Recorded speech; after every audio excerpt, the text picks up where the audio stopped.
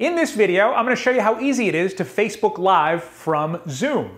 It's a great solution if you're looking to use some of Zoom's tools like screen sharing, but then have it show up on Facebook. All right, let's get into it. What's up, busy people? Welcome to 5 Minute Social Media, where we help business owners increase their results while also cutting their social media workload by 50 to 80%. All right, so if you're ready to have more results in less time, make sure you hit subscribe, click that bell, that way you'll be notified each week when we release another helpful video. My name is Jerry Potter. Yes, it rhymes with the boy wizard. And by the end of this video, you'll know how to stream to Facebook Live from Zoom, as well as I'm gonna share a couple of things that are mistakes that many others have made so that you don't have to learn these things the hard way, all right? Let's dive in.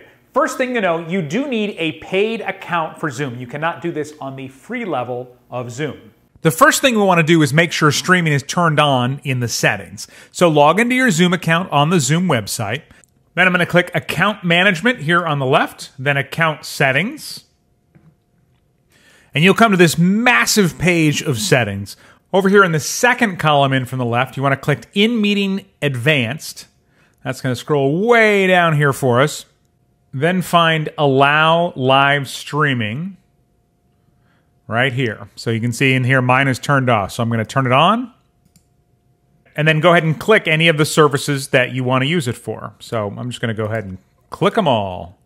And then hit save. So our settings are good. Let's dive into an actual Zoom call and I'll show you how to stream it to Facebook Live. So I'm in a meeting on Zoom and down here on the bar across the bottom, I'm going to click more with the three dots above it.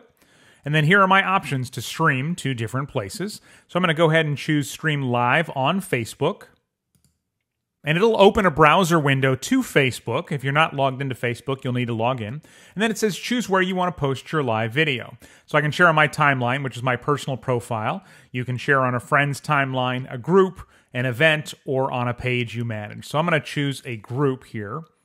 Then it'll ask me to put in the, the group name. I've got this testing group here. Then I'm going to go ahead and hit next.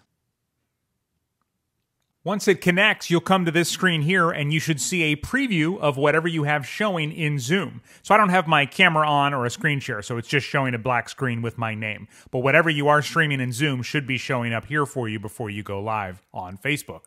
You can come up here and you can add a caption if you want. And then when you're ready to go live, you're to hit go live down here on the lower right hand corner. Another screen we got to wait through. Now this is taking you to where your Facebook Live is going, but over here in Zoom, you're looking for this indication here. It says meeting is now streaming live on Facebook. So when you get that indication, you know you are live and you can go ahead and start talking to your audience and get going with whatever you're putting out there. Now, when you're done streaming to Facebook Live, if you just end your Zoom meeting or webinar, it'll automatically cut off the stream to Facebook Live.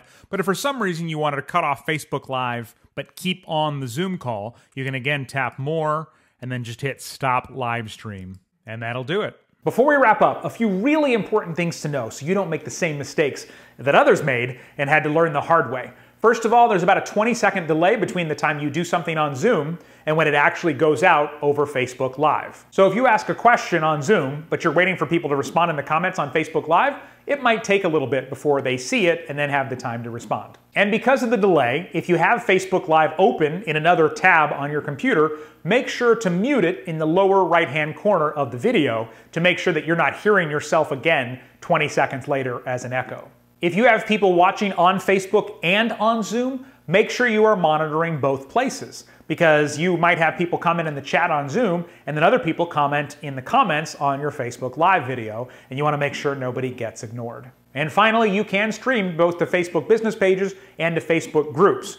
But if you don't have the proper permission, you might actually be able to see the page when choosing pages to stream to, but if you only have moderator access, for example, you won't actually be able to stream to it. A little bit frustrating the way that that's set up, but if it's not working, it may be that you don't have admin or editor access on whatever channel you're trying to stream to. I hope this works really well for you. If it doesn't for some reason, I've linked to Zoom's help guide for this in the description of this video. Also, if you're looking to stream on Facebook Live with a guest who's in another location, there's actually an easier way to do it than connecting Zoom to Facebook Live where you do it all in one window. And I've linked up to the tutorial on how that tool works. You can find it here on the screen or in the description of this video. Was this helpful? If so, consider giving this video a like, leave me a comment. I read every single one. Thank you so much for supporting me at 5 Minute Social Media. You're not only supporting me, but also my two tiny superheroes at home.